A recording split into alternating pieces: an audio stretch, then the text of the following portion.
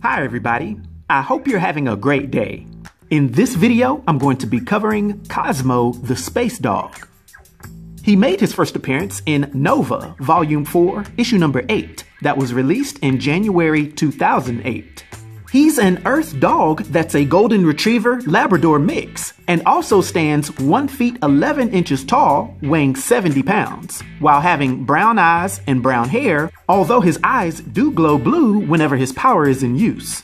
Now, Cosmo is a mutate that developed his powers due to being exposed to cosmic waves. This gave him telepathy, making him able to read and manipulate the minds of other beings, also doing things like projecting telepathic illusions as well as cloaking. He's also known to have extremely precise and accurate telekinetic powers, at times producing psionic blasts and shields. Not to mention that he's decades older than he should be, seeming to no longer age. And to complement these natural abilities, he's typically seen wearing his white spacesuit, which is equipped with various compartments, as well as wearing a unique collar that carries a Tesseract storage crystal chip, which can create a pocket dimension that's big enough to hold the entire population of a small world. Now, Cosmo the Space Dog started out as a test animal for the Soviet space program in the 1960s. But on one fateful day, he was launched into Earth's orbit as part of an experiment. But his craft drifted off course, tumbling through space. During this drifting period is when he was exposed to the cosmic rays that would mutate him. And he would ultimately end up at the city called Knowhere, which was built inside the severed head of a celestial in space.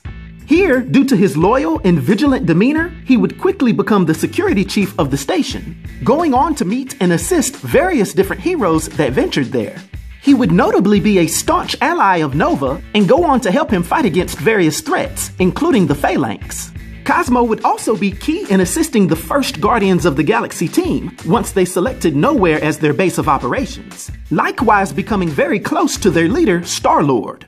Matter of fact, Cosmo thought so highly of him that after Star Lord passed, the Space Dog would take it upon himself to gather the Silver Surfer, Gladiator, Beta Ray Bill, Quasar, and Ronan the Accuser to form the Annihilators team, which was Star Lord's last wish. Yet, still to this day, Cosmo is committed to his duty to protect the people of Knowhere, now working as an integral part of a team known as the Knowhere Corps. Now, for his powers and abilities and his influence on the Marvel Universe, for my 1 to 10 rating, I'll give Cosmo the Space Dog a rating of 4, which is a rating of Journeyman. I hope everyone enjoyed this video. I'll talk to you next time. Be sure to like, subscribe, and join the new Sage.